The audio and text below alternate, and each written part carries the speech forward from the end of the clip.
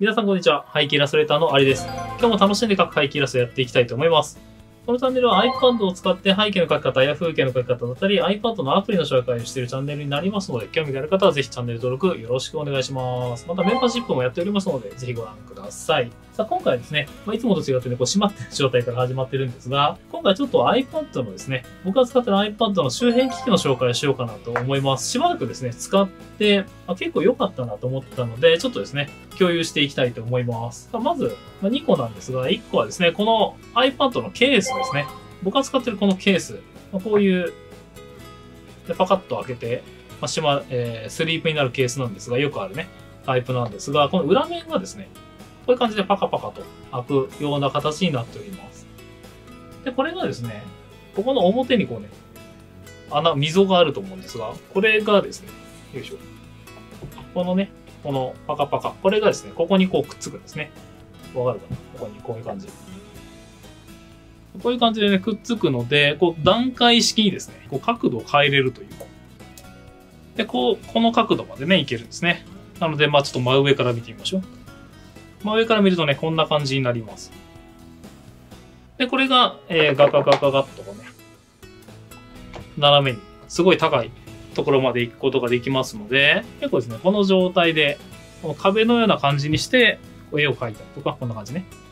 とか、すごい角度をつけてですね、こうやって描いたりとか、することができて、自分のですね、この任意の角度にして絵が描けますので、非常にやりやすい、使いやすいですね。角度を見つけて描くことができるという、かなりおすすめのですね、ケースとなっております。この角度ってすごい大事なんですよね。この光が反射がどれぐらいかとか、たまに角度を立ててね、こう描きたくなったりとか、逆に角度を落として描きたくなったりとか、僕は結構浅めで描くのが好きなんですけど、たまにね、こう立てて描くこともあります。で結構ね、売ってる中ではこの段階がかなり高いなと思ったので、ちょっと買ってみてですね、しばらく使ってたんですが、まあ、かなりおすすめかなと思いましたので、紹介したいと思います。で、1個だけですね、ちょっと改造してるんですけど、ここの上、ここでですね、Apple Pencil ここで、こう充電するんですが、ここがですね、こうちょっと厚みがあって、本来は充電できるらしいんですけど、ちょっとね、充電の反応が悪かったので、ここね、カッターでぶっちぎって で、ヤスリをかけて、ね、ここも穴開いてる状態にしてるので、まあちょっとね、ちょっとだけ改造してます。で、えっ、ー、と、もう一個、このケースですね。おすすめの点として、ここに iPad のペンをね、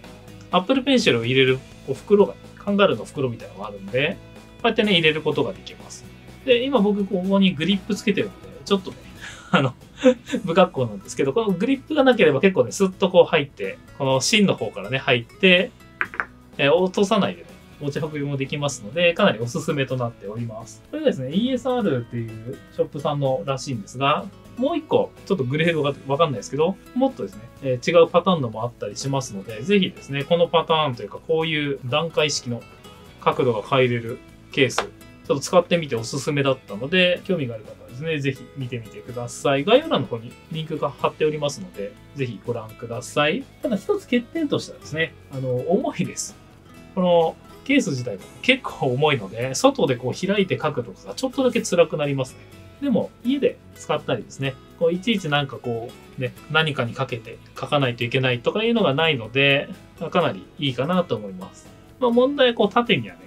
縦では絵描けないので、まあ、横向きでね、こう書く人向けっていう形で考えておいてください。なので1個目は、この ESR ショップの段階式のね、角度変えれるケースの紹介でした。で、もう1個ですね。もう1個紹介したいのが、この iPad のペンシル、Apple Pencil ですね。Apple Pencil のこのグリップ、これグリップをね、こうやってベッドでつけてるんですけど、このグリップをですね、つけないで僕ずっとこれで書いてたんですけど、ずっとね、このまま書いてたんですよ。ですが僕結構ですね、あの筆圧が高いので、この細いのをちょっと滑りもするので、これをね、あの転がらないように頑張って頑張って握ってたらですね、ちょっと検証炎になってしまって、これがちょっと細すぎてね、あ、これが原因だなっていうのは完全にね、分かったので、ちょっとグリップをね、探してたんですね。で、そのグリップの中で、このエレコムのですね、低重心設計の、これですね、この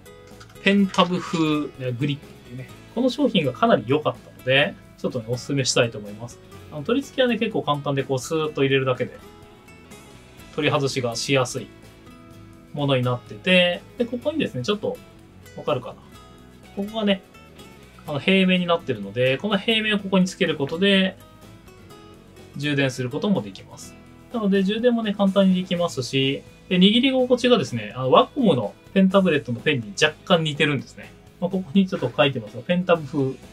って書いてるので、まあ、それを多分意識してると思うんですが、ワコモのペンタブとかをよく使ってた方は、なんとなく馴染みのあるペンになると思うので、まあ、そういう点でもね、おすすめになります。まあ、一個だけちょっと気になってる点としては、この、ここはね、平面になるので、これ充電しないといけないので、どうしても仕方ないんですが、ここにね、どう指を当てようかなって未だに悩んでますね。まあ、これは慣れだと思うんですが、でもおかげでこれ、あの、持ち手がね、太くなって、ょっと柔らかくなったので、筆圧かけずにですね、こういう感じで書けるようになったので、まあ、今後、検証対策ということで使っていこうかなと思いますので、まあ、しばらく使ってですね、結構あの、触り心地も良くて書きやすかったので、おすすめとなります。というわけで、今回は iPad の、まお絵かき用のガジェット紹介になるのかな？周辺機器紹介になりました。一つが、この iPad のカバーですね。段階がね、多い。角度の段階が多いカバーと、iPad の Apple Pencil のペンタブ風グリップの紹介になりました。なかなかですね、この iPad でイラストをいっぱい描くと、どうしてもこの角度を変えるとか角度をつけたいカバーとかですね、こういう長く使うためのペンシル用のグリップとかいうのあった方がいいかなと個人的にはやってて思いましたので、まあ、興味がある方は、まあ、探してた方とかですね、ぜひ参考にしていただければと思います。どちらの方もね、概要欄のリンク貼っておきますので、ぜひご覧ください。それでは最後までご覧いただきありがとうございました。今回はですね、ちょっと僕がしばらく使ってみてのレビューになったのですが、まあいろいろ iPad、まだ周辺機器がいっぱいあると思うので、まあ何か新しいもので手に入れたら、え情報共有していきたいなと思いますので、その時はぜひまたご覧ください。今後またですね、iPad でイラストを描く方法とか、パーツの紹介とかもですね、していきたいと思いますので、またぜひご覧になってください。Web の方もぜひ見ていただければと思います。僕の描いたイラストの販売だったり、SNS の紹介もしておりますので、見ていただければと思います。またメンバーシップの方もやっておりますので、興味がある方はぜひご覧ください。それではまた次回の動画でお会いしましょう。背景のスレタのありでした。さようなら。